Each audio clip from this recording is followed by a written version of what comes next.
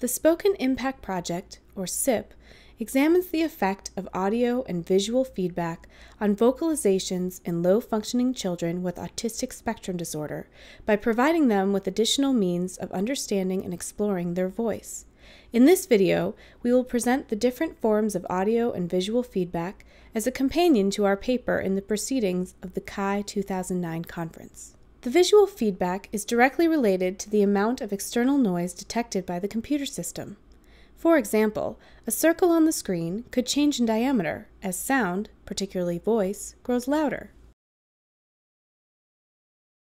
The visual feedback consists of one of three possible types of graphical objects. Found images, like a cartoon character, circular or spherical shapes, and lines. In this video, we will be using a cartoon lion and sheep as found images. However, any image can easily be used.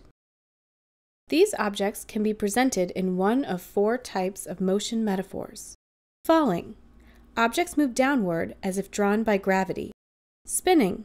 Objects move in a circular or spiral pattern. Flashing. Objects appear and disappear quickly. And stationary. Objects stay in a fixed location. Among the four categories, approximately 12 unique motion or pattern combinations were created. Most can function with any type of graphical object, circle, found image, etc. SIP provided two categories of audio feedback based on the sound produced. One-to-one. Sounds are directly related to sound produced by the subject, such as an echo or pitch shift. For example,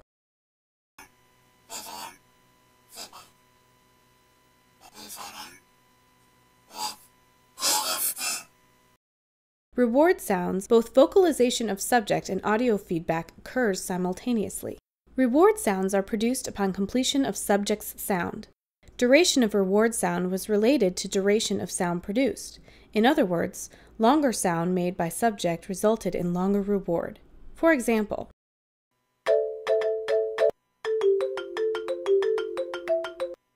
Though this example is musical, sound could also be from found audio, such as movie or TV show.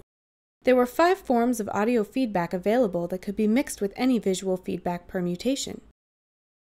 In this example, we use a falling metaphor which simulates fireworks with sphere objects. The explosion distance is related to the volume. Color and location change with each utterance, and number of particles varied due to the duration of vocalization by subject. In addition, there is one-to-one feedback in the form of pitch-shifted audio.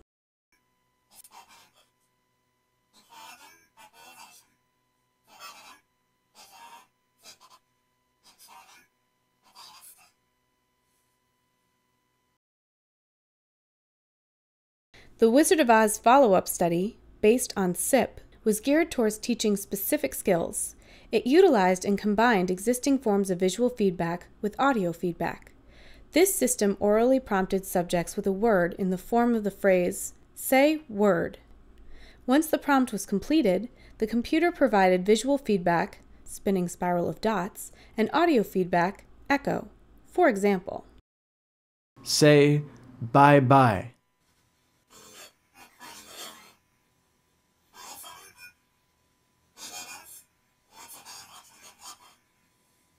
If the prompted response was deemed close enough, the researcher directed the system to provide an auditory and visual reward. Great job! Otherwise, the researcher would prompt the target word again. Say bye bye. Great job! We would like to thank our collaborators, Laura DeThorne and Mary Kelsey Coletto, as well as all of our participants and their families. During this video, no footage or audio from actual subjects was used per confidentiality agreement with participants. For more information on SIP, please refer to our paper, Creating a Spoken Impact, Encouraging Vocalization Through Audio-Visual Feedback in Children with ASD, found in the Proceedings of CHI 2009.